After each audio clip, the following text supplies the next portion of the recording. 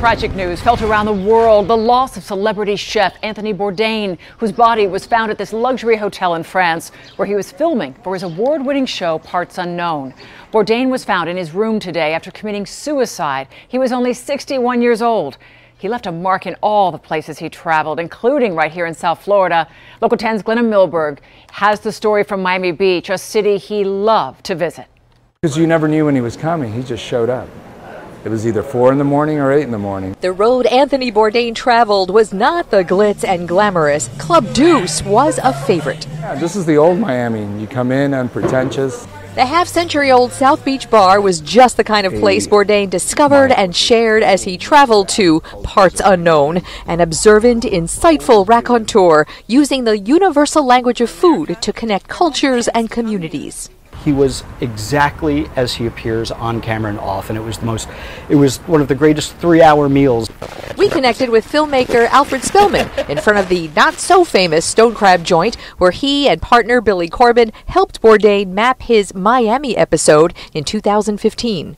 We talked a lot about uh, the history of Miami as being a sunny place for shady people, and uh, kind of the evolution of the city being such a new city, a new American city, and what that represented. That show the Miami that we don't see on TV. Bourdain did the beach yeah, with Iggy Pop, immersed in the cultures, Little Haiti, Little Havana, with Local 10 SoFlo taste host Michelle Bernstein, and he managed to really, well, get it. It was really a place created by fantasists, crackpots, dreamers, con men. Bourdain looked for authentic grit behind the stagey glamour, and after coming up in the kitchens, found his professional success in his mid 40s. He was 61. What I really took away from that was that, uh, you know, you're never too old for a second act.